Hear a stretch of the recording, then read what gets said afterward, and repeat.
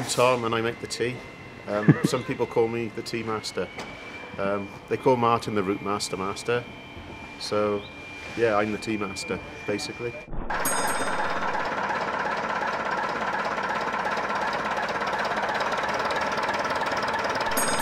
actually refurbished by uh, an engine rebuilder who the military actually used. They didn't do it themselves.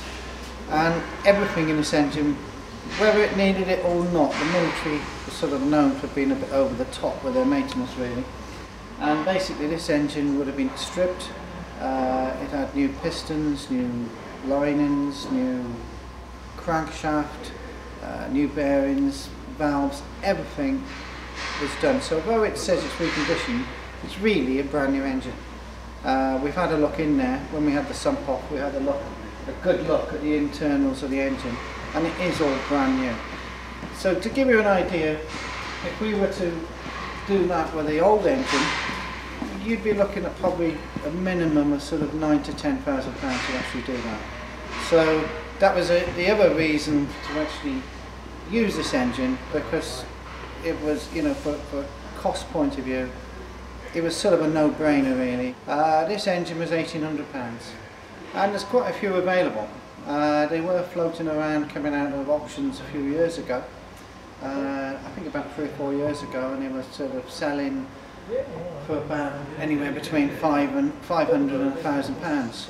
Uh, and they got snapped off, uh, snapped up by various people. Uh, and we're lucky that we, well, one guy, Rob Duker, had the foresight to buy a few of them. Uh, and he, I think he probably bought maybe a dozen of them. And he's been selling them for £1,800 a piece. Okay, the old engine was 9.4 litre, but this one is 12.6. Uh, so it gives you a lot more, lot more power. But we're not using all the power because we were running the original injection system of the original Routemaster. Uh, it's actually detuned for what the engine is. If we put the engine in with the you know setup for how it would have been on a lorry, uh, we'd have far more power than we actually need and could possibly, if somebody wasn't careful with it, damage the transmission because you've just got, you know, probably caught more power than you actually really need. All the sump, all this bottom half here, that is off the original engine. Uh, the uh, injector pump, the power steering pump, the water pump, uh, the flywheel. Um, these bits here we had to get made up. Uh, Mech Engineering next door made those for us. Um, that Mech Engineering made quite a lot of bits, including the uh, modification to the pulley uh, and uh, some, of the bits, some of the bits for the fuel tank as well. Uh, so all that was also a modification what was done. That there is your reservoir for your power steering. So all that had to be changed. This is off the original engine. That there is your header tank where, where all your antifreeze and your coolant goes. That's off the original engine. This here is your, your where your oil goes, where you put engine oil in it. That's off the original engine. Uh, so there's a massive amount of parts which were taken off the original engine to put on this engine to make it fit, including the sump, uh, the water pump, uh, injector pump, uh, starter motor alternator. Few modifications done. You've got a pulley down there, which you you have the the, the fan, the radiator fan on. Uh, that had to be machined to make the fan fitted, or to make the fan fit, I should say. Uh, these things here, everybody likes these. Everybody likes those. They're, they're not actual, well, they're like little air strainers, right? And that's where the engine sucks its air in. Originally, there was like a plastic bowl in the middle of them, and uh, it, it's designed to catch, you know, if you think of a, a JCB tractor, it's running in all kinds of arduous conditions, and they're designed to catch the sort of extreme sort of dust before it goes into the main fi filter. Um, we couldn't put the complete things on because they were touching the bonnet because they, they sat up about that high. But we did, we did. Uh, that was the original idea. Um, like with a lot of these things, it's a lot of trial and error really. Um, you have to think on your feet and work things out as you go along really. That's the injector pump. An injector pump is a mechanical pump which pumps the diesel, or now of course veg oil, uh, through these injectors. Now these injectors are actually from the original 760 engine anyway, these, these particular injectors.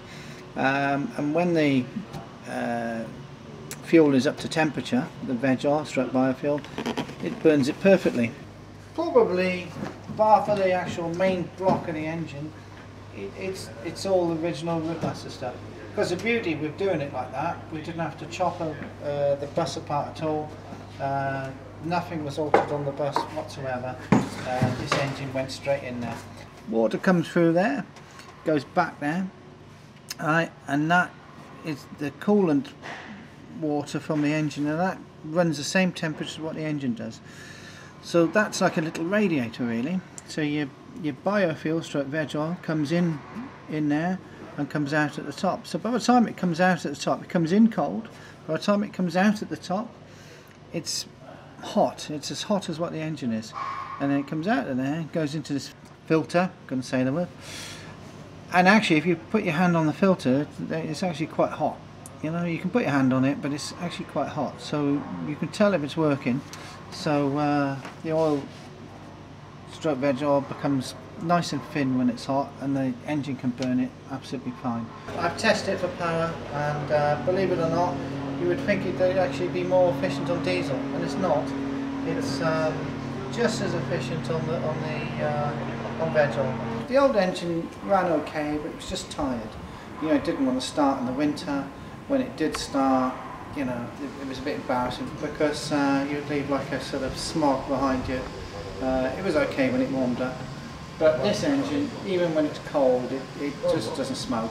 And obviously the advantage with running it on uh, the veg oil, stroke biofuel, uh, that's even better for the environment as well. Uh, because it doesn't have all the nasties in it, all the nasty sort of uh, side effects what the diesel has when it burns. You've got two sets of pipes. You've got your diesel feed, your diesel return, and your veg oil, stroke biofuel feed, and your bio return. And how most diesel engines work, they have a return because they, they bring the fuel from the tank and then they return it. They, so it goes in like a big loop yeah, and it uses the fuel it needs, and the fuel it doesn't need gets returned back to the tank. So makes it a bit more complicated because you have to have sort of all, all these extra pipes. So basically how it starts, it starts on diesel. These are your solenoids which decide via a switch which is in the cab how it's going to work. So um, this, this switch here this is your feed. So you've got diesel coming up on one side and veg oil stroke biofuel coming up the other side. Now, depending on where your switch is in the cab, after it's run and got up to temperature, you flick the switch to biofuel when you're ready, stroke veg oil. It then sends, a, sends that around the engine. This then cuts in at the same time, which also sends a return back, back to the uh, to the biofuel tank, stroke veg oil. So all the fuel is going round in one big loop. However, when you turn the engine off just before you finish at the end of the day, it's very important to, to switch back to diesel. So if you don't do that, basically what happens, this system will be full of veg oil. If you try and start on a cold day, it would never start because the oil would go so thick it wouldn't go through the system. So you have to turn back to uh, diesel. So you've got a, a switch in there so you, you've got a light which comes on green which tells you that it's on veg oil uh, you've got a light what comes on red which is what they call purging now what purging is it takes it when you switch it to purging it takes the oil from the diesel tank takes the fuel from the diesel tank but it sends a return back to the biofuel tank struck veg on. This is where the uh, wiper switch used to be. Um, but uh, somebody before us took the wiper switch out because the wiper now is operated off the wiper motor. So there's a big hole there. So uh, I don't really like cutting holes in, in things, but there was already a big hole there and the hole was perfect for that switch. So there we go.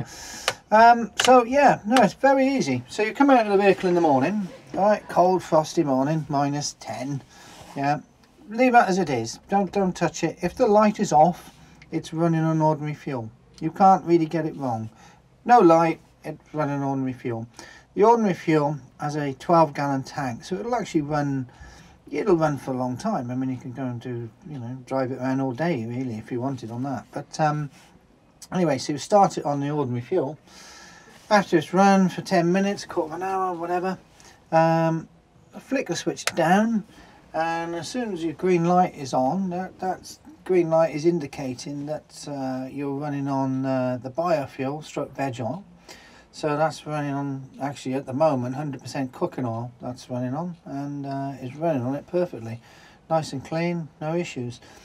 The important thing you do have to remember when you come to your end of your journey it's important not to leave it with the uh, veg oil in the fuel system because if it was cold and in the winter you would definitely have issues because the veg oil would get very thick and the engine wouldn't start on it.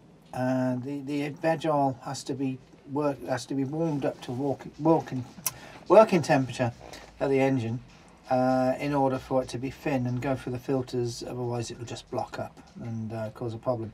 So what you've got to remember at the end of the trip about 10 minutes before flick the lever or the switch up so the um, light is on red and that's what they call purging. Purging actually means it takes fuel from the uh, diesel tank so it's running on pure diesel but it's sending the return or basically what fuel is left in the, in the system back to the veg oil tank. Whatever position you put the switch in the, the important thing is you the bus won't stop.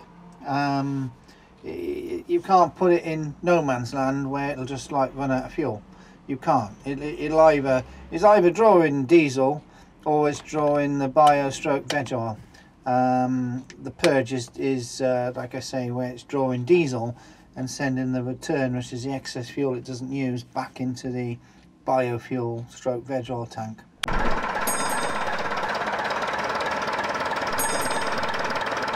Well, we knew it would fit in because the blocks are the same. Uh, so the actual block of the engine is exactly the same as the old one. Uh, and this and that, there's a lot of engineering you've got to do. Uh, won't just fit in. You know, people think, oh, it'll just fit in. Or you have to cut the bus apart to make it fit. People, or people say all kinds of different things. A lot of it's a learning process, really as you do it, you've got to work out what you've got to do and what you don't have to do. Um, but this one we managed to get in here without modifying the bus in any way whatsoever. Uh, even the exhaust pipe, it's got the original exhaust pipe on it. Uh, we haven't cut any of the bulkhead away, it's got the original radiator on it, original prop shaft, etc. So, say if somebody ever donates you a nice 690 engine, brand new, could happen, we can put this bus back to originally how it was made, uh, should that ever be the case in the future. So it was quite important, actually not to modify the engine.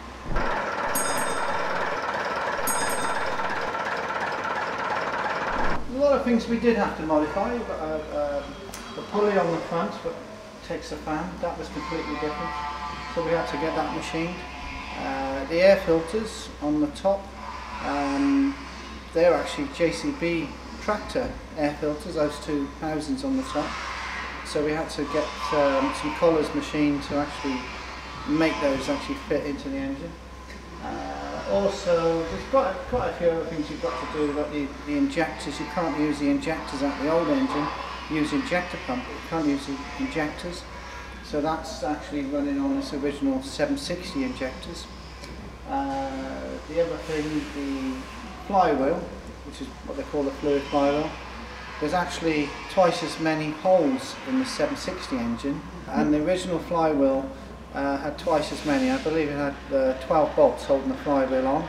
This only requires 6 bolts. So you've got to do some modifications there. Uh, if you didn't do any modifications, you'd fill the thing up with oil and all the oil would run straight on the floor. One of the um, problems I had when I thought, well, how are we going to do this? Okay, and I thought, well, we've got the original fuel tank there. It's a 30 gallon tank. Okay, so it seems a bit pointless to have your diesel as, you, as, as, as your main tank. So I wanted the 30 gallon tank to be the tank for the veg oil. And I thought, okay, where on earth are we going to put the other tank? Because you have got quite a few things under here. And it was also important as well, because the kindness offensive didn't actually want the bus to look any different. They didn't want any holes in the side or anything like that. So one of the obvious places to put a tank here and then the filler under the bonnet. The only thing about that is you pull into a garage, the engine's red hot, somebody spills, you know, oil, you know, diesel goes over the engine, not particularly satisfactory. You know, it could be a fire risk, and if nothing else, it would make a hell of a smell. So, but okay, so we don't really want that. So anyway, so we managed to get a, a fuel tank off a London Fairway taxi. Uh, beauty of that is, should anything ever go wrong with this, I think they're about 140 quid. They're very easy to get. Uh, Tim actually, Tim Barrington made the brackets. Uh, did a very good job. Um, even painted them a nice, sexy colour green. Uh, so uh, that's uh, that, that's all that holds the tank on. And the filler is where the step, where the little footstep was to climb onto the bonnet. So the filler is in there. So we actually didn't drill any holes in the, in the actual uh, structure of the vehicle at all and it could be put back very, very easily. Uh, certainly with these classic buses, it is a sort of uh, a, a, a, good option. I mean, it's a cleaner running fuel, uh, you know, sustainable, you know, and it's and it's and it's, it's better for the environment at the end of the day. Uh, there, there is a council actually running all their buses on on cooking uh, in uh, West Wales. Um, they run their whole fleet uh, of about, I think it's about 50 or 60 buses. And they run them exactly the same as what we're doing here. So, yeah, I think it, it, it certainly sort of, um, there's definitely a market for it, and I think it, I think it uh, is, is a good option. I mean, there's, there's other options, um, but you couldn't, for, for the type of work this bus does, it wouldn't be any good running on electric because you could have electric motors in it, which is what we will do. Uh, we've got a um, fleet buses in London and we probably will make those run on electric stroke diesel. Wouldn't be any good for this because the problem is with this, it does a lot of long distances. So the problem you get with like a, with a hybrid bus, they run out of electric. So therefore you end up crawling along about 20 miles an hour because your batteries go flat and you've got a little engine which can't really cope with charging. This will go all day at 40, 45, 50, whatever speed you want to do, and it'll do it all day long, every day of the week. Um, and the other thing as well, they're actually very good on fuel. I mean, this this will be doing about 14, 15 to the gallon probably.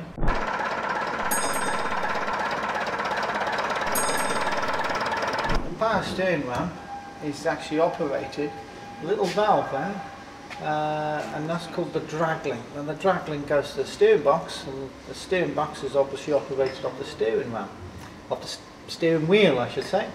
So as you turn the steering wheel, uh, it moves this rod, and this rod goes back and forth, and actually switches a little valve inside the steering ram, which then makes the steering ram open and close. Very simple, really. Very difficult to get bits from. Should should something go wrong with it, we can get get the rods, we get the seals. At the moment, if that valve goes there, it's called a bobbin valve, I believe. Uh, if that goes, at the moment there's no replacement, so that's bad news if that goes. So charge up anywhere between uh, 12 and 1400 psi. So bear in mind they've got 550 psi of air stroke nitrogen in, in there, and when the oil pump charges, it pushes the piston back and the piston will come back probably very nearly to the end and that's your reserve braking and the only way you know it's charged really is you've got the stop flag and the little light in the cab. Three different sorts of diffs. One is a standard diff, uh, the next one is a country diff and the fastest is what the RMAs had. Now the RMAs were the airport buses which were capable of doing sort of 60, 70 miles an hour. In fact, they did used to do that speed. Hence the reason they had a very fast diff in there. So in this bus, it would be nice to get one of those fast diffs, or or even a country diff, because uh, a country diff with the extra power we got now in the engine would propel it along quite nice. This bit here, this steel structure here, is what they call the B frame. There's a lot of talk about B frames because the B frames they corrode, and you come here, Robert, and have a look in here. This is one of the problems what happens with them, but they corrode and all this spreads open and they end up in a, in a terrible mess. All this all this parts they'll they'll split as much as about three inches along there. When they rebuilt we then seal them up to stop it happening. This one's been done uh, and when I painted it some years ago I sprayed plenty of sort of paint up in there and, and resealed it up inside. Uh, so this this was probably repaired years ago but it's in very very good condition so it's, it's not going to go again. Uh, this is actually, this piece here, is actually one what we're in the, in the process of um, repairing. So that is a B-frame leg. So you've got two of those in a bus, they're handed, you've got one each side. Um, and that can cost as much as 4,000 quid to repair if they need doing. Definitely, yeah, it runs well. It's very, very clean on the exhaust. It seems to run well both on diesel and on biofuel, so good result. Yeah.